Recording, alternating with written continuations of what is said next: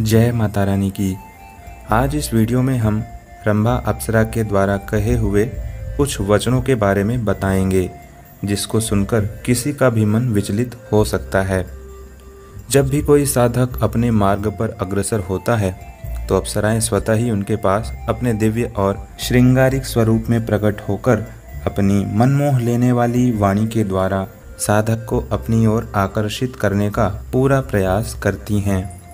आज इस वीडियो में हम आपको रंभा अप्सरा के कुछ ऐसे ही वचनों के बारे में बताएँगे, जिनका प्रयोग रंभा अप्सरा ने एक 16 वर्ष की आयु के समान दिखाई देने वाले ब्रह्म ज्ञानी को अपनी श्रृंगारिक और मन को विचलित कर देने वाली बातों में अपनी ओर आकर्षित करने का पूरा पूरा प्रयास किया था।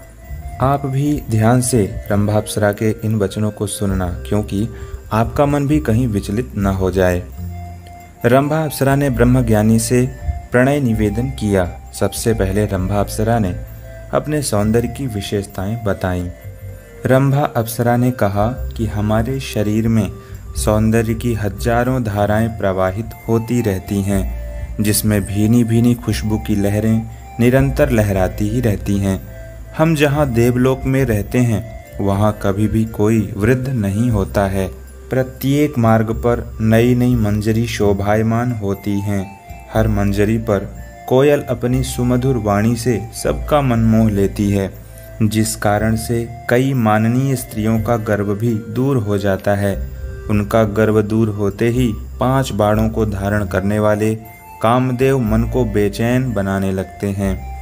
हर घर में घूमती फिरती स्वर्ण लता जैसी उन सभी स्त्रियों के मुख पूर्णिमा के चंद्रमा के समान सुंदर हैं।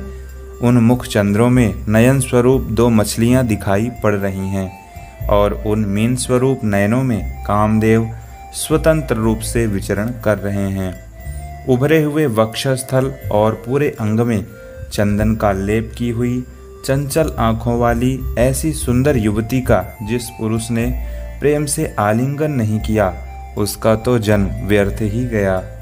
भोग की इच्छाओं से व्याकुल चंद्रमुखी अर्थात चंद्रमा जैसे सुंदर मुख वाली, जिनके अधर लाल रंग के हैं, कोमल कमल के नाल जैसी गौर वर्ण की ऐसी कामिनी को जिसने अपनी छाती से नहीं लगाया, उसका जीवन तो व्यर्थ ही गया। अनेक प्रकार के सुंदर वस्त्रों और आभूषणों से सुसज्जित कपूर, लौंग इत्यादि सुगंध से महकती हुई दिव्य शरीर वाली नवयुवती को जिसने अपने दोनों हाथों से आलिंगन न किया हो, उसका जीवन तो व्यर्थ ही है। मधुर वचनों से अभिषिंचित करने वाली, स्वर्ण के समान अंग कांति वाली, जिसकी नाभि में झुमका लटक रहा हो, चंचल कमर वाली, अपने नूपुर के द्वारा मधुर शब्द करने वाली, नाक में मोती पहने सुंदर नयनों वाली, जिसके सिर के बाल सर्प की भांति टेढ़े मेढ़े कमर में सुशोभित हो रहे हैं। ऐसी सुंदरी का जिसने सेवन नहीं किया, उसका जीवन तो व्यर्थ ही गया।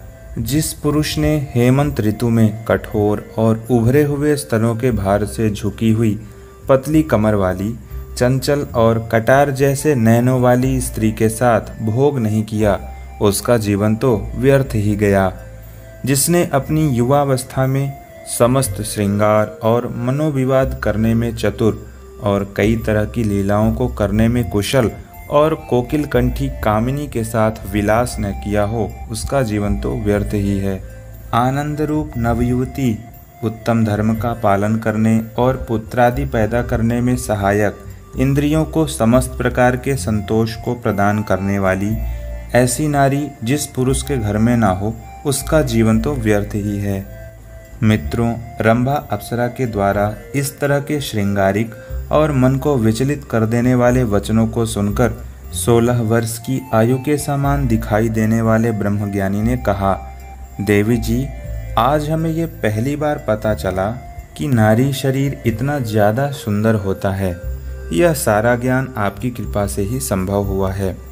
यदि भगवत प्रेरणा से पुनः मुझे जन्म लेना पड़ा तो मैं नौ महीने आप जैसी ही माता के गर्भ में रहकर इसका सुख अवश्य ही प्राप्त करूँगा इसके अलावा तो अभी इस पूरे जन्म में मुझे प्रभु कार्य के अलावा कोई भी कार्य दिखाई नहीं पड़ता है मित्रों, इस तरह की वैराग्यपूर्ण बातें सुनकर रंभा अप्सरा अपने वचनों के द्वारा ब्रह्म ज्ञानी को अपनी ओर आकर्षित नहीं कर पाई और अंततो गत्वा पुनः स्वर्गलोक को लौटकर चली गईं। मित्रों, एक ब्रह्मज्ञानी की परिभाषा क्या होती है वह आप इस वीडियो में समझ गए होंगे। आशा है इस वीडियो के द्वारा दी गई जानकारी आपको अवश्य ही पसंद आई होगी। यदि हाँ तो कृपया हमारे इस वीडियो को लाइक और हमारे चैनल को भी सब्सक्राइब कर दें। जय माता रानी की।